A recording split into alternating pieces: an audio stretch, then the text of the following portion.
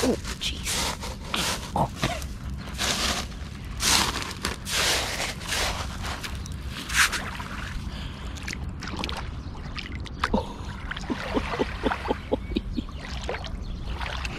That is so cold.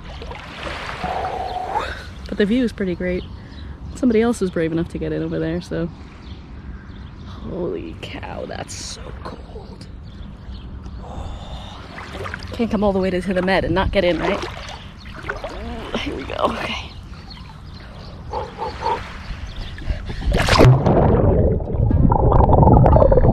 Oh, breath. Oh, wow. Greetings from Kalamata, Greece. Located on the western edges of the Peloponnese region, along the coastline, Kalamata is perhaps most famous for its olives. But today I'm going to show you why it may be a wonderful addition or alternative to your Greek beach vacation.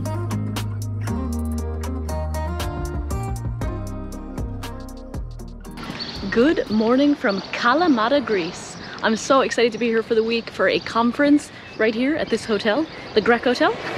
I'll give you a tour later, but I am walking into the center of town, the city center, I guess, which is kind of far from the beach, but we're gonna walk along the boardwalk and see the beautiful views. The mountains from here are incredible, so I'm excited to show them to you and see the, the downtown for myself and have some delicious Greek food as well. Let's go.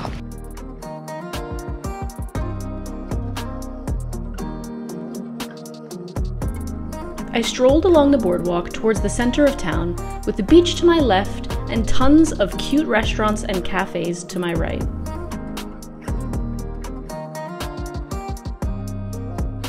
The day before, I popped out for a meal at this taverna, which had awesome service, ice cold beer, and delicious gyro.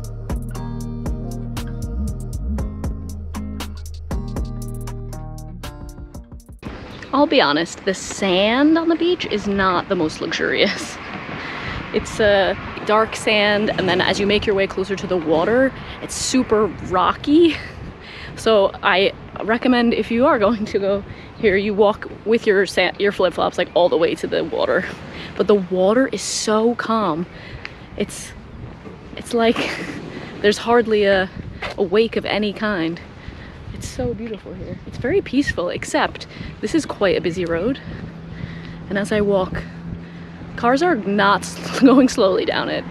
It's also low season. It's just early May. So not everything has opened back up again with normal hours. Not all of the not all of the beach clubs are fully out, but there are a bunch. And I went on a run this morning and I saw way more um, towards the closer to the town. But if you wanted to come and just lay by the beach, swim in the Mediterranean, pretty nice.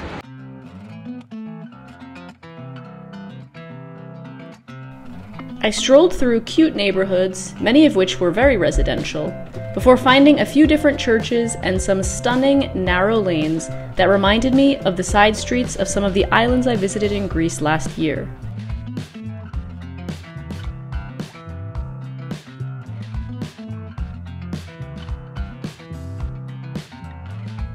The old town of Kalamata is very beautiful, with pedestrian streets, cool street art, historical churches, and tons of cafes and bars with tables pouring out onto the sidewalks.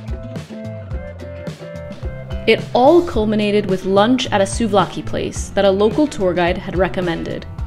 I knew I was in the right place when I sat down, and the waiter expected me to already know what I wanted to have without even looking at the menu. Clearly, this was a place for the locals. He apologized for the confusion and handed me the menu, which consisted of about 10 things that you could order, with souvlaki being the main star. I ordered the pork souvlaki in pita, which came with fries, tzatziki, red onion, and tomatoes in it, as well as grilled feta, which had so many delicious toppings. And I washed it all down with my favorite Greek beer, a nice cold mamos.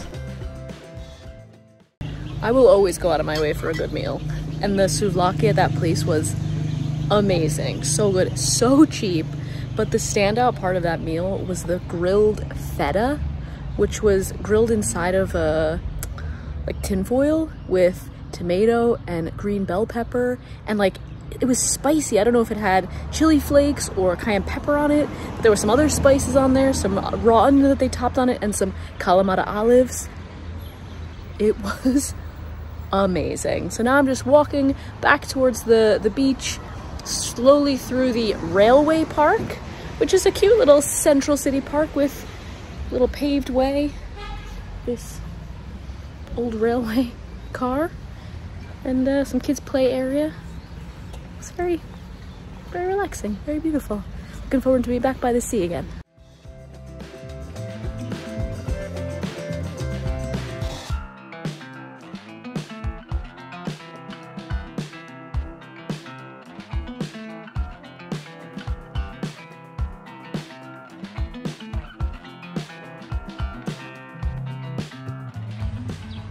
Okay, the railway park is an absolute highlight. Like, there's so many old trees, it's so cool. They're just all parked up on the old tracks.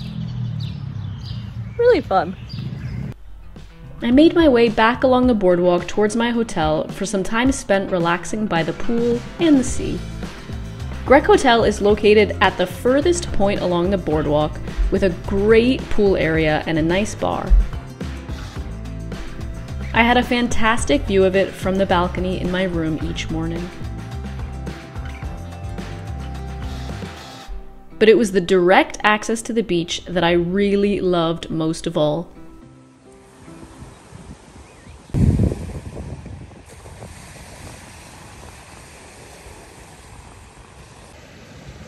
The weather hasn't been perfect. It's cloudy, it's windy, but I've been swimming in the ocean and it feels so good. So beautiful here. The sound of the sea, being able to walk right from the hotel, right into the, uh, to the beach. How much better than this?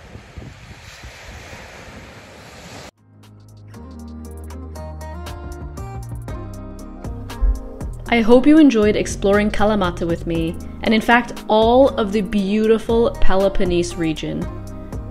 Join me next week as we head to one of the islands in a different part of the country to hike, eat, and finally enjoy a bit of Greek sunshine. Thanks as always for watching, and I will see you next time. Bye!